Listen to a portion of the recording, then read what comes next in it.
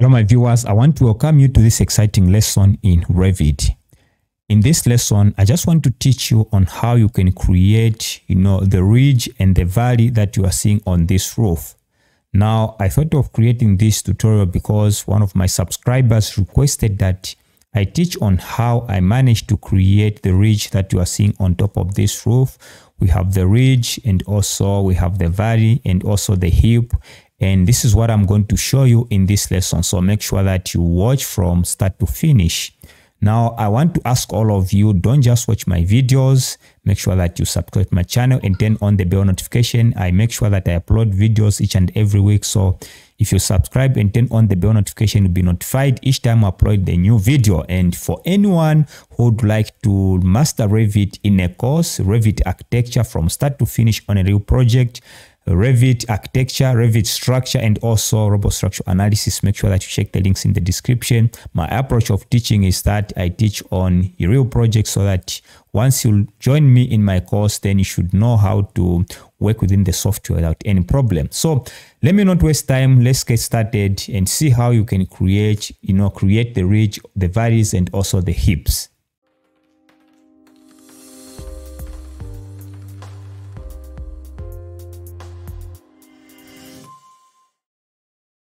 So what I'm going to do, I'll just, you know, I'm not going to use this project, okay, because I don't want to be, you to be confused. I want to use a very, very simple model. So I'll just close this one, okay, and I've already opened this one. So I pre-modeled these walls that we have. Of course, you know how to create the walls. There are a lot of lessons on this channel how to create the walls. So I'll just create the roof and create the, you know, the ridge and the valley and the hip as you are going to see just in this lesson. So I need to go, if I just go to south, I just have two levels. Let me just change to shaded so that I just have level one and level two. So I need to go to that level where I want to create the roof. That's the first step for you to create the roof. So I'll go to level two from here we have our level and now I need to create the roof. Okay, that is the first step. So I'll go to architecture and you see that I have the roof. I'll just use the roof by footprint. Just click on that. Then what you need to do is to pick, go to the properties and pick the roof that you want to use. I'm just going to use the generic 125. Okay, I think this is okay for me. So I'll select on it. Now we are going to change the, the color, that, that agri color later on. Okay, we'll change just wait and see what will happen. Then of course we know you have to specify the overhang right there. I'm just going to use 600 millimeters for my overhang. Then somewhere here you see that we have a number of tools here. You can see that if i just hover my cursor there i'm able to see that line which is depicting the overhang that i specified it's because I've, I've used the pick walls and make sure that you use pick walls. Why you have to use pick walls is that this is a tip again that you have to know even those who are already using Revit.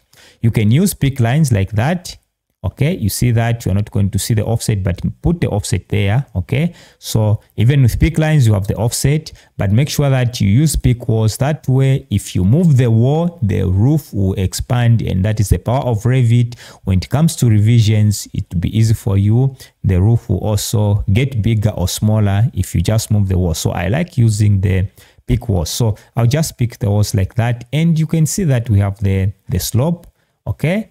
So i'll change the slope later if I want. So I'll just pick the walls like that. You can see it's as simple as that for those who not know how to create a roof. We have it there. Then I'll click on modify. Now, if you want to change the, the slopes, you can just need to select the line or you can just select all the lines. If I just want to change, you know, the slope, maybe I just want to have 25 degrees for my slope, I can do that. Or you can go ahead and just select one by one and type from there select the line, click there. You can type the slope the way you want it to be, just like that. But this is how I want my slopes to be. This is a simple roof. Just click on the green check mark there, click outside, then open the 3D view. You can see that we have the roof. Okay, the color, I don't like the color. I can change the color by just selecting on the roof there. Then just click on edit type there. We need to go to the materials. So just click on edit. Then click under the material right there. If I want, I can expand this one and just move it here. Once I just click once there, then click that little box at the end. You see that it's using that material. I can go down there and click new material.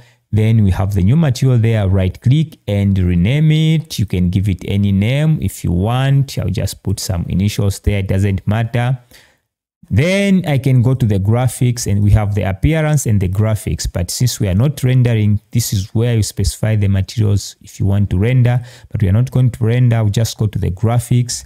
Okay, and I can put the colors, but I will just maintain the default colors the way it is because the purpose of this lesson is for me to teach on how to create the ridges, you know, the hips and the valleys. So I'll just click on apply. Okay, then apply once again, click on OK, then OK, and click outside that color has disappeared so we have the roof like that. Okay so now let's proceed with what we want to do. Now the first step for you to do is to duplicate this roof okay?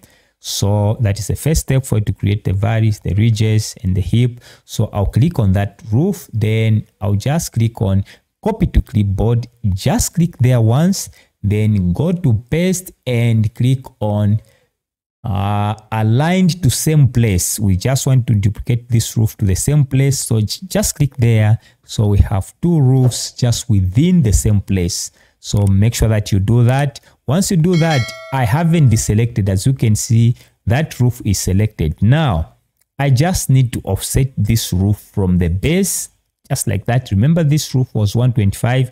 So I can just offset from the base by a margin of 125 a positive value move click on apply or just move your cursor inside. You see that?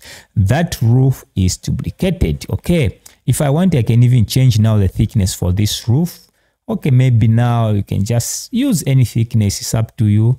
All right so i'll just click there click on edit and i'll change this one maybe to let me change it maybe to 7.5 right then click on apply. Okay apply as you can see we have the roof on top of this one now you notice that uh, I didn't duplicate the name for this one. Let me check the bottom one. You see that again, this is the reason why you have to duplicate anything that you want to change in Revit. If I go to edit, it has also changed. So what I want to do, I'll duplicate this one.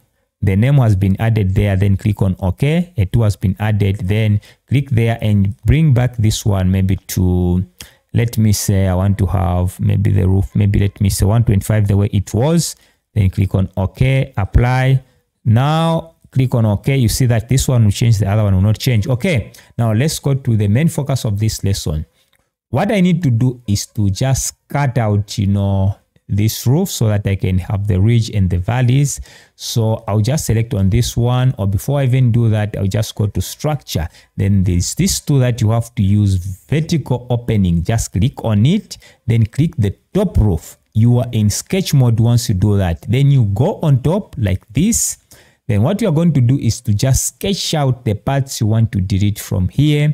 So we are in the sketch mode as you can see the tools. Once you just click that tool there, you'll be in the sketch mode. So what I need to do is just to use the pick lines and I'll put the offset there from the from each line on top there. I want to create now that ridge. So let me say maybe 75 like that. Then I'll be picking the lines that offset. You'll be able to see it like that. So I just want to go around and just pick from both sides. I need to have that offset. You can see that I'm now creating my my my ridge there. I'm also creating my valley. You know, make sure that you just offset it on both sides, just like that. Okay, I'll just continue until I offset those two lines as you're going to see.